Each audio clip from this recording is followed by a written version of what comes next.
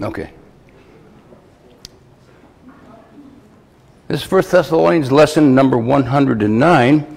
If you go to 1 Thessalonians chapter 4, let's read the passage there, verses 1 through 7. 1 Thessalonians chapter 4, verses 1 to 7. A little bit of review. Furthermore, then, we beseech you, brethren, and exhort you by the Lord Jesus, that as ye have received of us how ye ought to walk and to please God, so ye would abound more and more. For ye know what commandments we give you, gave you by the Lord Jesus. For this is the will of God, every, even your sanctification, that you should abstain from fornication, that every one of you should know how to possess his vessel in sanctification and honor, not in the lust of concupiscence, even as the Gentiles which know not God, that no man go beyond and defraud his brother in any matter, because that the Lord is the avenger of all such, as we also have forewarned you and testified. For God hath not called us unto uncleanness, but unto, holy, unto holiness. Heavenly Father, thank you for this time in your word. And as always, I just pray for the blossoming of your word, even more so in our, in our inner man, and that when we speak about you, everything just redound to your glory. Amen. Now, Galatians 5.1, Stand fast therefore in the liberty wherewith Christ hath made us free, and be not entangled again with that yoke of bondage. Last week we spoke about the whole world is entangled with religion of some sort or another. The gospel of God's grace, Acts 20, 24, is the only thing that isn't entangled. It is free, it's clear, there's no entanglement. Now, we talk about wisdom and prudence. They're different words. Prudence is different than wisdom. It implies more caution and reserve than wisdom, or is exercised more in foreseeing and avoiding evil than in devising and executing that which is good. This gives us the big picture. If you don't rightly, rightly divide the word of truth, if you don't understand the word of God rightly divided, you can't get that panoramic view. You can't get that big picture because you're trying to fit things where they don't not supposed to be. Events do have do not have meaning unless you assign meaning to it. Now you know how I feel about this. You can say God did something, but you cannot say the God of the Bible did it unless the God of the Bible says he did it. When somebody tells me God told me this or God told me to do that, I says, I'm not trying to be nasty here, you know, but if you can show me the verse with your name in it and God giving you that position, that, that, that word, I'll believe you. That's how, I mean, most people say that they don't even realize what they're doing and they don't understand. That's confusing to a lot of people. Um, he did it. You might say, maybe he did it and didn't tell us. That's why last week we read Ephesians 1, verses 8 through 9. He told us everything he's going to do. Ephesians 1, 8 and 9.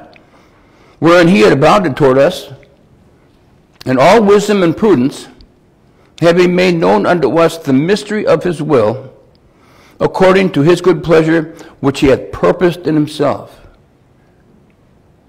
Colossians 1.25 says, it was given to him, to Paul, to fulfill the word of God 2 Timothy 4 17 says, It was by my mouth so the preaching might be fully known. For people to reject Paul is rejecting God. Paul wrote the final words from, of God in 13 of his, of his epistles. How do I know? Well, let me, let me back. There is no will he didn't tell us about. This is a major problem in Christianity. How do I know he won't interrupt the mystery program with another mystery? Read Paul's epistles and read, again, Ephesians 1, 8, and 9. Let me do it again. Wherein he hath abounded toward us in all wisdom and prudence, having made known, unto us the mystery of his will, according to his good pleasure which he hath purposed in himself. All means all. If you want Pauline, you cannot see the big picture and you don't have prudence. I'm not trying to be nasty or angry or sloppy or whatever. You, you just don't, you don't understand that. If you don't, In 1 Corinthians 2, I'm going to read the passage here, verses 6 through 8. This passage, if you don't understand that the following passage is the most important piece of good news in Scripture, you're not going to understand how God's working today. The most important, because this passage connects with every other part of the Bible. Paul's final message, the capstone of progressive revelation, fits in with every other part of the Bible. He started back here, he goes over here, now we finally end up in a dispensation of grace. The last seven years of Israel's judgment has been put off for almost 2,000 years, and we've been here learning about the gospel of grace. 1 Corinthians 2, 6 through 8. Now, this particular passage, um, I have twin sisters. One of them's with her grandson, Landon, so I say hi to Landon. Both my sisters, when they heard this passage, they did a double take. It got both of them. Now they're in the grade school of the Bible. They're studying. And one of their husbands is too. Let me read it to you. Howbeit we speak wisdom among them that are perfect, yet not the wisdom of this world, nor of the princes of this world that come to naught. But we speak the wisdom of God in a mystery, even the hidden wisdom, which God ordained before the world unto our glory, which none of the princes of this world knew, for had they known it, they would not have crucified the Lord of glory. This truth represents the whole Bible. What's so hard to understand about that? Hope is a confidence based on a credible promise. God promises eternal life. God promises that we cannot lose salvation. He says, once you're saved, you're always saved. If we believe that, yet he abideth faithful, he cannot deny himself. In other words, you can say, I can give it away. You can't give it away. He's in you. Whose promise, promise is it? Yours or his? Please understand that. It's his promise. He's not going to go back on his word. Can you act like a heathen? By all means. Can you sound like a heathen? Yeah. Can God? If he said he's put his Holy Spirit in you and you can't lose it, you're sealed unto the day of redemption, is that something you can believe? We'll talk about that in a minute. The God of the Bible has, sovereign, has the sovereign free will that King Nebuchadnezzar had. When circumstances change, he has free will to change the, decree. To change his decree. Free will is a Bible truth. It applies to God and has been given to man. I want you to go to Exodus chapter 33. We've talked about this verse before. And this should remind you of Romans chapter 9. Exodus 33.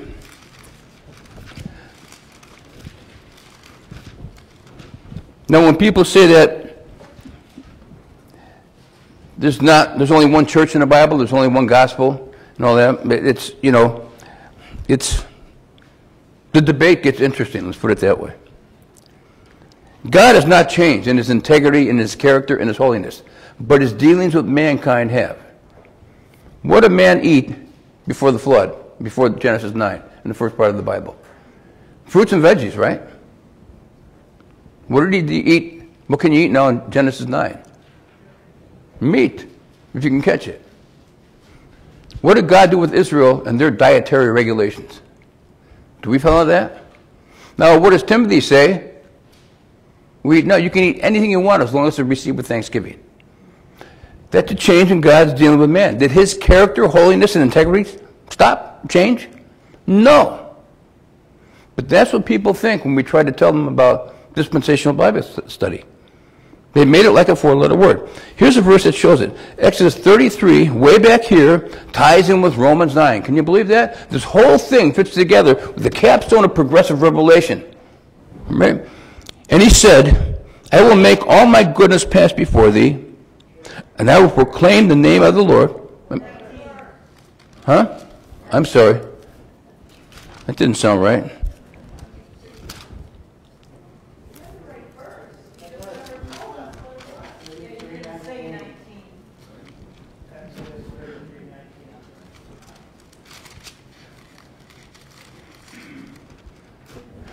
I'll get there. Hold on.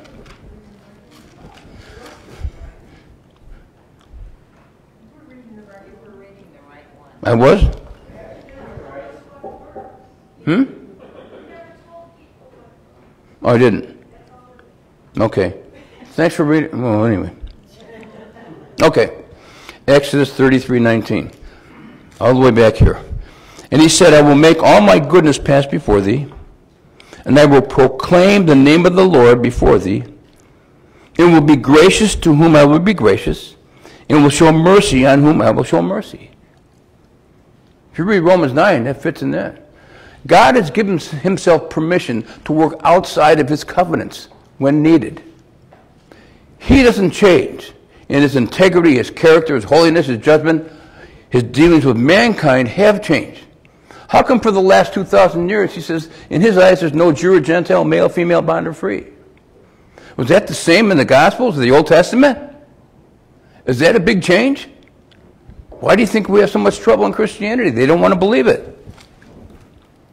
They don't want to understand the, the fact that God is so generous and, and kind and mercy, the, the bywords for this dispensation.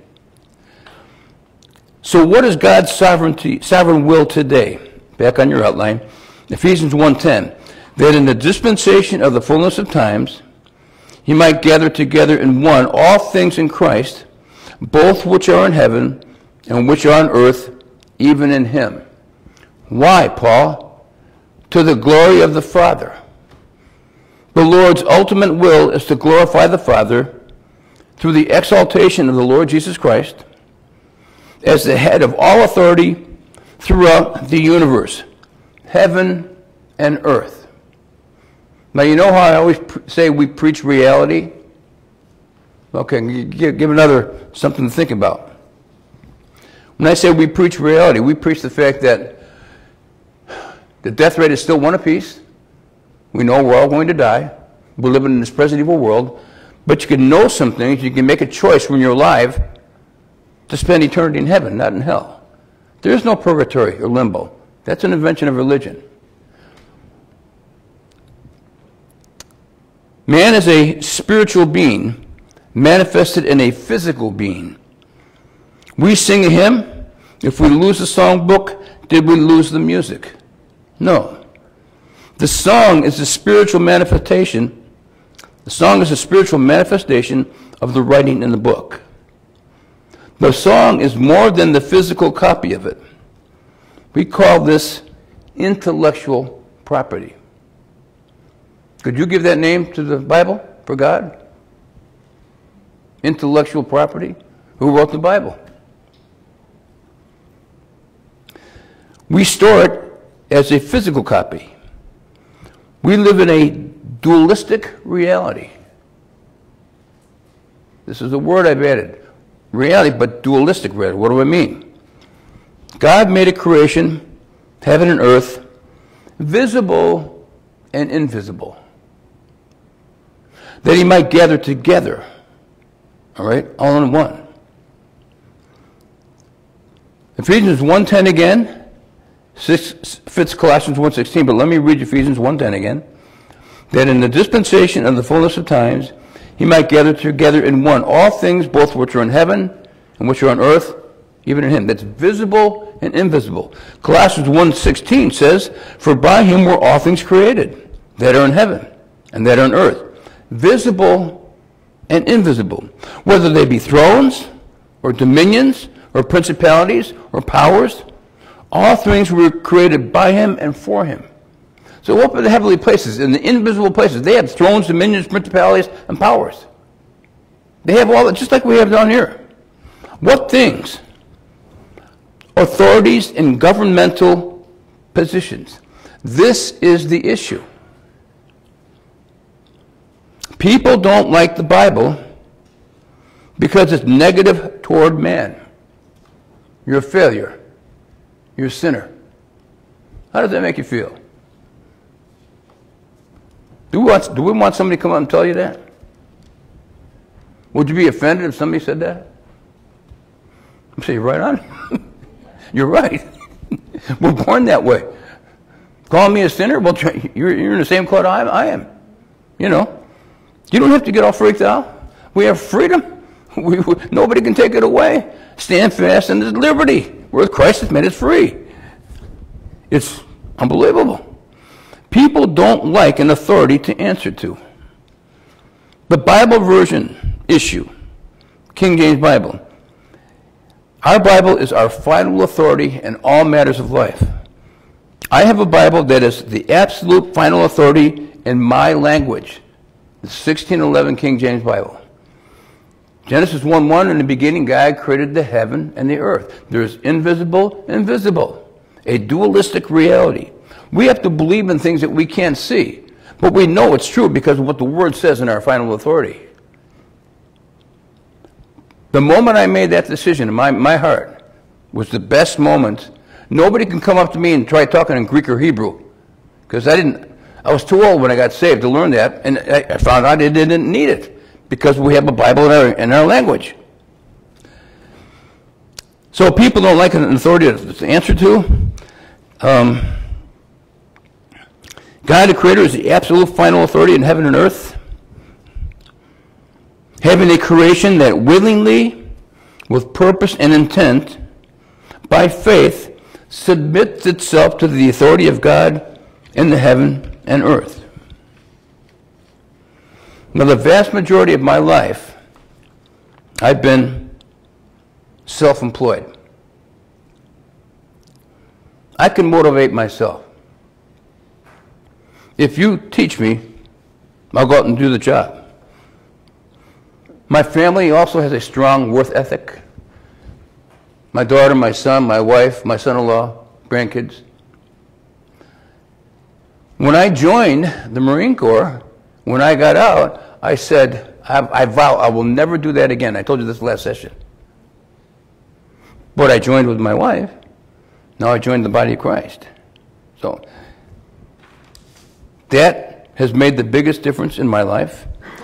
And fortunately, I stuck around long enough to get my six siblings interested because they know me from the beginning. Who's going to listen to Ray when we know what Ray did in the past, right? We all have a history. But they did, because they, they saw something. And when I told my sisters that if Satan thought when he, when he got Christ crucified, he thought he won it all. I got power over the heaven and the earth. I can control everything now. Isaiah 14, I want to be like the Most High God. What happened? Christ resurrected. Satan's a chump. He made a fool out of Satan. Now, what this means for us and you when you understand the dispensation of the grace of God and the gospel of grace, He's not very happy with you. Why do you think when we talk to other Christians like that, we try to bring this up unargumentatively, and they get upset? They've taken the word dispensational, shrunk it down to four words, and this dirty swear word. Why do they do that? Because they don't understand. And then understanding comes with a general understanding of the Old Testament, which we went over the first session, about the kings in Israel, and all that, had God chosen any other nation, it would have turned out the same way because we all come from Adam.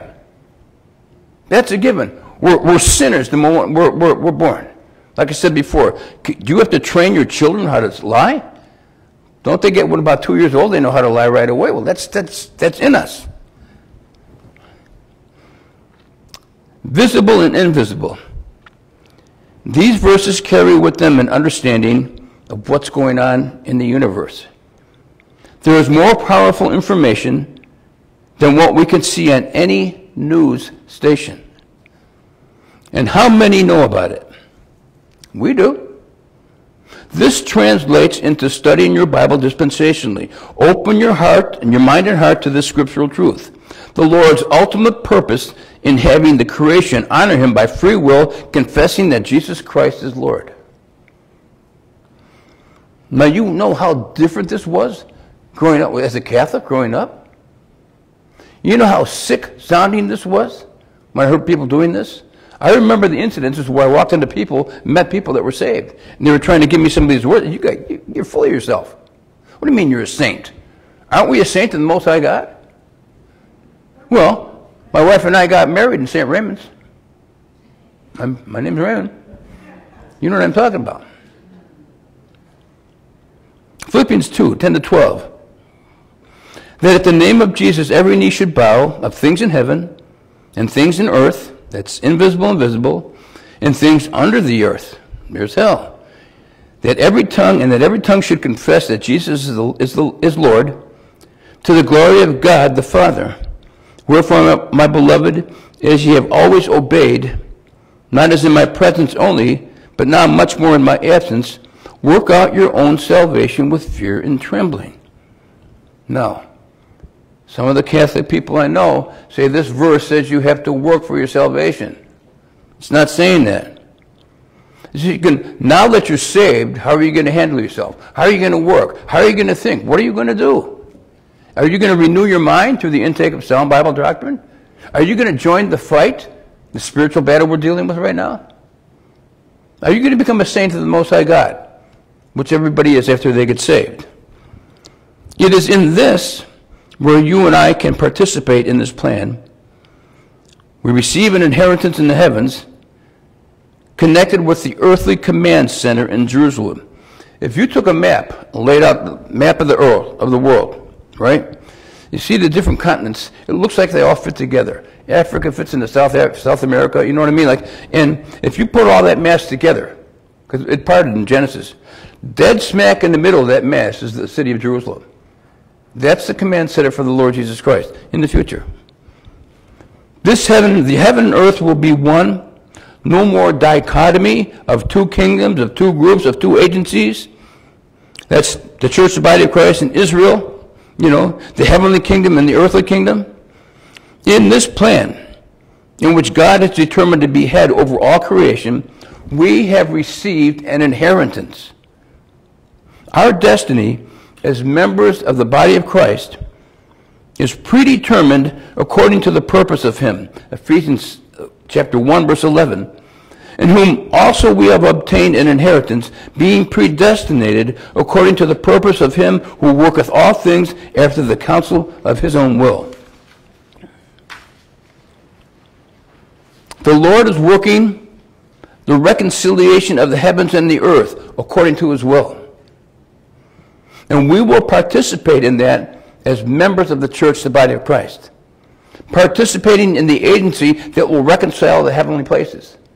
Now, God's going to use Israel to reconcile back the earth. He gave them the kingdom. But the church, the body of Christ, the heavenly places. Romans 11, 15. For if the casting away of them, talking about Israel, be the reconciling of the world, that's to restore to friendship and fellowship. God wants this. What shall the receiving of them be but life from the dead? You know what this tells me? God's not finished with Israel. Doesn't it say the same thing to you? Didn't he promise them a kingdom? Didn't he say they were going to be a nation of kings and priests? Are they a nation of kings and priests? Do they know Jesus Christ? Most of them don't. But do you believe that's going to happen? Yeah. And why do you believe that? You have a final authority. Again, getting saved like this just threw me completely off track of life because I didn't know where I was going, what I was doing. And it put into me some understanding that I never had. So this is the sovereign will, the purpose of God, completely revealed in His world, in His Word. Now, what about me, individually? The three of us, me, myself, and I. For we are his workmanship, created in Christ Jesus unto good works, which God hath before ordained that we should walk in them. The law says you have to. Grace says you should. You get to make a choice. You get to be a big boy or a big girl. You get to make up your own mind. Am I going to do this or am I not going to do this? Who's telling me? Who, who do I follow? Myself? My, my spouse? My priest, my rabbi, or his book? Does this sound like, the God, like God has a will for your life? Yes. So what is it? Paraphrased, that you will walk as his workmanship created in Christ Jesus. We are the new creature. 2 Corinthians 5.17. The one new man created in righteousness and true holiness. Ephesians 4.24. Now I have other verses here. In, oh boy. Ephesians 2, 15 and 16. having abolished in his flesh the enmity, even the law of commandments, contained in ordinances, for to make in himself of twain one new man, so making peace, and that he might reconcile both unto God in one body by the cross, having slain the enmity thereby. Now, this little section right here, the reason I put it in there is because how many Christians you talk to that believe there's only one gospel in the Bible? A lot, right? How many believe there? How many Christians tell you that there's no more? There's more than there's only one church on the planet. Now we know from Acts seven, Moses had a church in the wilderness, didn't he? Then there's a church in, in Matthew 16, 18, on, on, on, the Jews that Peter confessing that Jesus Christ was their prophesied Messiah. Okay, that's the Jewish Messianic church. They don't preach the gospel of the grace, they, they preach the gospel of the kingdom. The gospel of the, of the kingdom is, is, is, the gospel of grace, it, it, and that's is the gospel of law. The law works wrath, not grace. And then there's the church, the body of Christ. For make himself of twain no man, new men, one new man, so making peace. Question. How much peace has this information brought us down here? Has it brought us any peace? Personally, collectively as a church, we have the Lord's Supper, we break bread, we feel glad about that. I talk to people, you tell me story, you know, you're going on in your life. There's peace there. But what about Christianity? Forget the other parts of the world. What about Christianity in itself? Do we have peace? No? We don't. We're, we're, we're trying to be peaceful at all costs, try not to offend people. If they're unsaved, the agape love tells us that we should esteem others better than ourselves. Well, Christ did. He died for us while we were still sinners. He hated us, Romans 5. We hated him, I mean. Ephesians 4 4, there is one body and one spirit, even as you are called, in one hope of your calling. One new man, one body, one spirit, one hope of your calling. Ephesians 4:12 For the perfecting of the saints, for the work of the ministry, for the edifying of the body of Christ. What is this body of Christ? Isn't this a church? Aren't we the church, the body of Christ? Did Peter talk about that? How about Elijah? Elisha, he had double the miracles that Elijah had. Nothing. Ephesians 5.23, For the husband is the head of the wife, even as Christ is the head of the church, and he, he is the Savior of the body.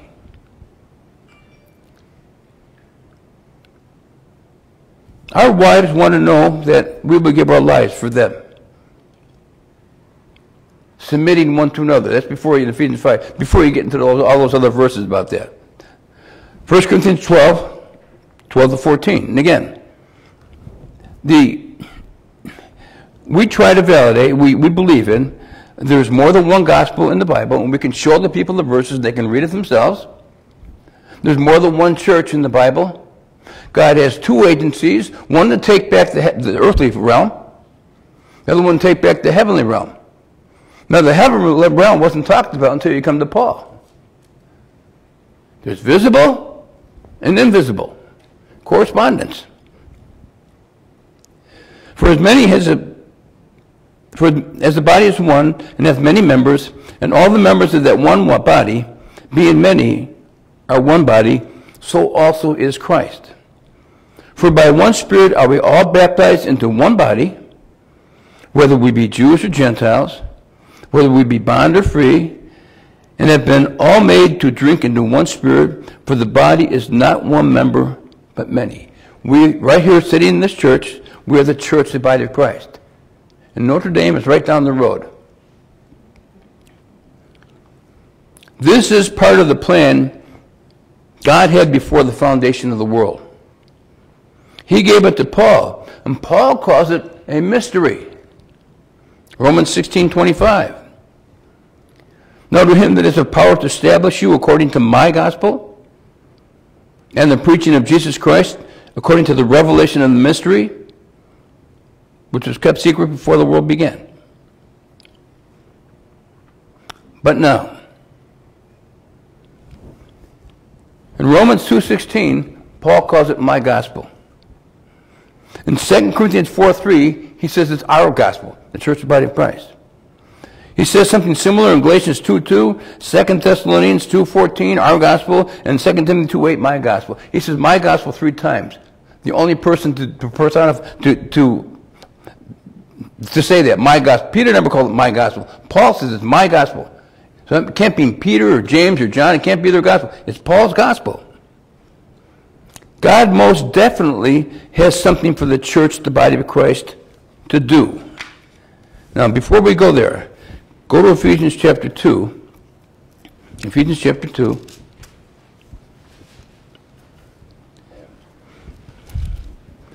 And let me read you verses 13 to 22. Now remember now, we got Romans, 1st, 2nd Corinthians, Galatians, doctrine, reproof, correction. You got Ephesians, Philippians, Colossians, doctrine, reproof, and correction. Ephesians is higher ground knowledge than Romans. Romans is the baseline. When you come to Ephesians, it's expected that you understand the previous three chapters. Verse 13. But now in Christ Jesus, you sometimes were far off were made nigh by the blood of Christ. That, that would be us. For he is our peace, who hath broken both, who hath made both one, and hath broken down the middle wall of partition between us. Having abolished in his flesh the enmity, that's the hatred now, even the law of commandments, the law works wrath, contained in ordinances, for to make in himself of twain one new man. And that he might reconcile both unto God in one body by the cross, having slain the enmity thereby. And came and preached peace to you which are afar off, and to them which were nigh. For through him we both have access by one Spirit unto the Father. Now therefore ye are no more strangers and foreigners, but fellow citizens with the saints and of the household of God, and are built upon the foundation of the apostles and prophets, Jesus Christ himself being the chief cornerstone, in whom all the building fit firmly together groweth unto an holy temple in the Lord, in whom ye also are builded together for an habitation of God through the Spirit. Now, we are the church, the body of Christ. We don't partake of this. We don't take, partake on the basis of, of covenant. We partake on the basis of grace, on the basis of the mystery, on the basis of the program where God has provided for our, our provided for us, people who are not part of the covenants. God has provided for our inclusion, not through Israel's rise, but through her fall. Now, You've heard me talking about Romans 11 quite a bit. People think we're grafted in or they think we're a spiritual Jew. That's not, that's not true. Um, and it can be confusing to a lot of people, but in this passage, let me show you something here. We've been grafted into and made a participant in the household of God. Okay? What, what did I just read? In whom all the building fitly framed together groweth unto an holy temple in the Lord, in whom ye also are builded together for an habitation of God through the Spirit.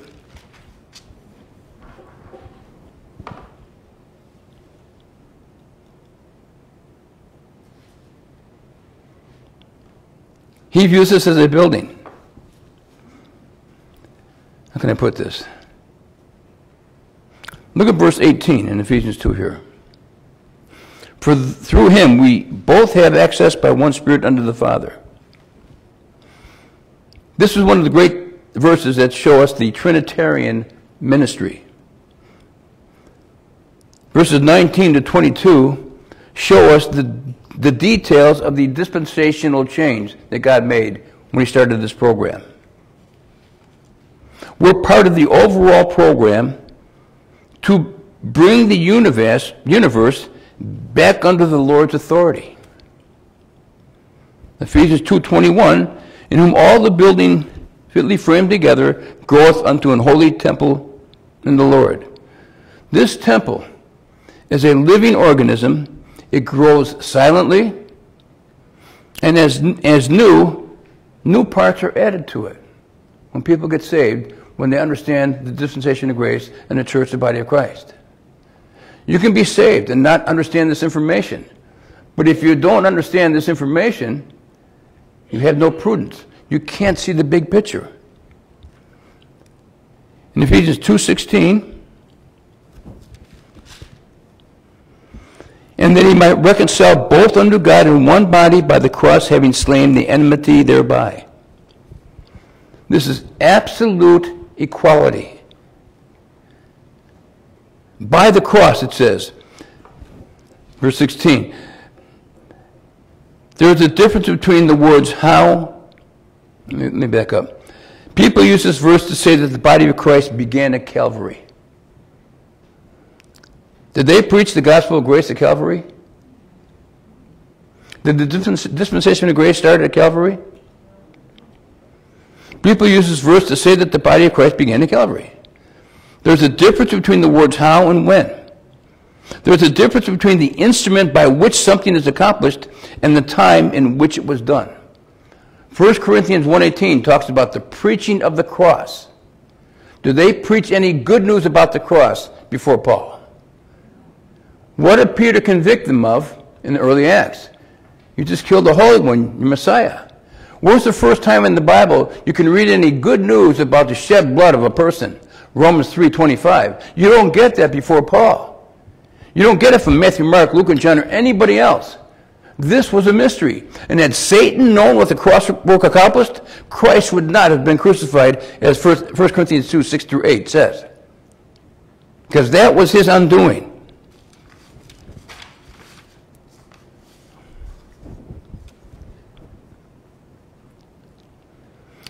God most definitely has something for the church, the body of Christ, to do. Now, I just read you that. This, this is where the dispensational changes come in. Are you a member? Then he has something, some things for you to know and do. Does he have a will for your life? Yes, he does. This does not mean he has a place for you to be at at 3 o'clock tomorrow afternoon. This is who he wants you to be and how He wants you to function. Function wherever you are in the life and identity He has given you in His Son. So instead of looking around to find the details of God's will for you, I don't see anything here, do you? Instead of looking around, His will is already revealed that you should live as a saint of the Most High God in and under any circumstances. It is who you are, when you are, where you are. 1 Thessalonians 4, verse 3.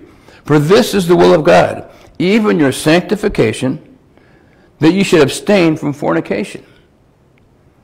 1 Thessalonians 5.18. In everything give thanks. How are you doing with that? For this is the will of God in Christ Jesus concerning you. If you get in a fight with your spouse, are you going to give thanks for that? After you let go of the anger. like I said, God loves me, and sometimes my wife. I'm a lucky man. Got to keep the humor going. Now, this is a blatant statement that teaches God's will for your life. In everything, give thanks even in the bad things. What do you learn with the bad things? Patience. Most of us are old enough to have bodies falling apart. So what are you learning? The outward man perishes, but it's the inward man that can grow. That's exciting. That's the will of God. I never had that information when I was a Catholic or younger, or when I was, you know, I didn't get saved until I was 41 years old. What did I know? Nothing. The Lord doesn't care where you are. You believe that? He doesn't care where you are. He's not down here micromanaging our details in, in our lives. Wherever you go, give thanks, being who he made you in Christ, obeying his word in you. This issue is the attitude you have toward being who you are. Is that going to check some bad behavior, some bad thoughts? Is that going to nullify that if you're thinking the right way? Then 1 Thessalonians 4b, God says that you should abstain from fornication. This is a revealed will of God for your life. We are to live within the revealed limits. Within these limits, we have freedom to make our own choices. Why does he mention fornication? 1 Thessalonians 4 7, For God hath not called us unto uncleanness, but unto holiness. Holiness and sanctification have the same meaning to be set apart for the purpose for which it was created. Ephesians 2:10 We are his workmanship. Why? Unto good works. How do you get accomplished good works? What are you thinking about? What are you thinking about when you're dealing with somebody? You, if they're unsaved, what's on your mind? I know what's on your mind. You want to get them saved. this, what's this going to do to you if you have that thought? You're going to try to be the best person you can to try not to offend them.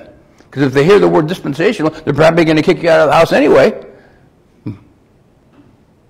Check your behavior at the door. Check your attitude. You want this person to get saved. Why? Because you're, we're all hell deserving. This takes, takes everything, every, all these little nuances and things that trigger, trigger us. It, it just throws it all away, and we have that freedom now. Galatians 5.1, just go, you know, I got one purpose for this person. I'm not going to get him angry no matter, even if he swears at me, yell, yells at me, I want him to get saved, so I'm going to be patient. Somebody was patient until Debbie and I came along.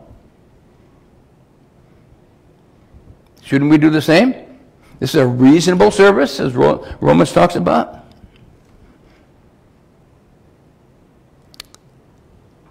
Holiness and sanctification have the same meaning to be set apart for the purpose for which it was created. Now, listen to this. Neither one means sinless perfection. I mean, none of you girls out here are perfect. Sinless doesn't mean sinless perfection. That's what, there's a freedom there, isn't there? Even if somebody gets angry with you or left, you know, you don't have to get angry back because you've been given some freedom. And this is the kind of freedom everybody needs. It's always from the inner man.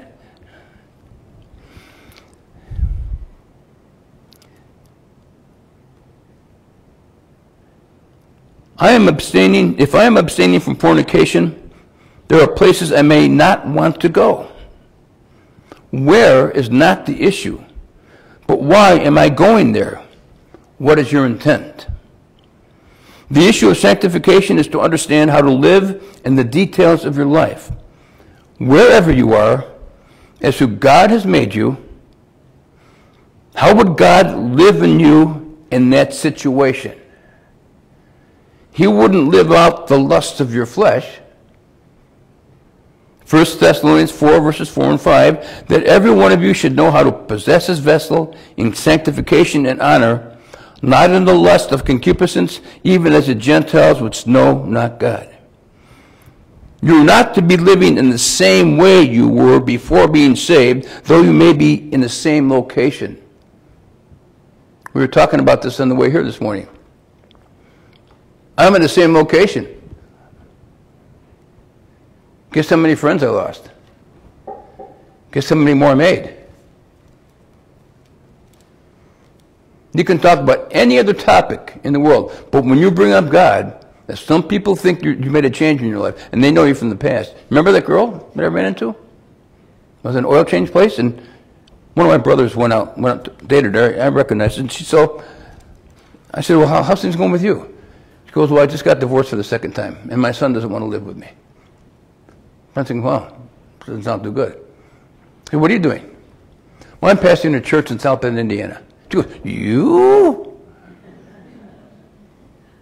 And she turned around and walked away. I had to bite my tongue to keep from laughing, but that's, that's actually what happened. You? Any other topic, she would have she wouldn't have done that. But okay, she knew me then, I know me now. And that's just the way it works, I guess. This is sanctification, what I'm talking about. This is Paul, what Pauline truth is, is designed to do, to teach you and to lead you. Pauline truth is not designed for you to tell every church in town that they are wrong. It is designed to make you a vessel through whom Jesus Christ lives for the good of others and the glory of God. This is a high calling. Now, let me give the gospel as my ending prayer. For those of you watching, I sure hope you understand that. And Landon, uh, hi to you. I hope you're still watching. But for anybody who's watching that's interested, if you're not saved, my final authority says that you're, going to go to hell when you die. We don't want that because we're all hell, deserving. We want you to get saved. Understand that you're a sinner. Christ died for your sins. He shed his blood for your sins. He was buried and resurrected. And now it's offer salvation as a free gift. So before you do anything else, make that choice in the privacy of your heart. Get saved, and you'll spend eternity in heaven. Thank you.